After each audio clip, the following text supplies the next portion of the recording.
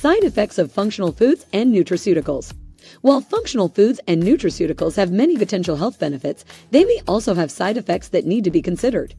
Some common side effects of functional foods and nutraceuticals include digestive problems. Some functional foods and nutraceuticals may cause digestive problems, such as bloating, gas, and diarrhea. Interactions with medications. Some functional foods and nutraceuticals may interact with medications, which can lead to adverse effects.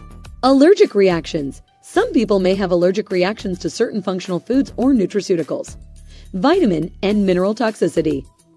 Some vitamins and minerals, such as vitamin A and iron, can be harmful if taken in excessive amounts. Liver damage. Some herbal supplements, such as kava and comfrey, can cause liver damage if taken in large amounts. Blood thinning. Some functional foods and nutraceuticals, such as omega 3 fatty acids and garlic, may have blood thinning properties.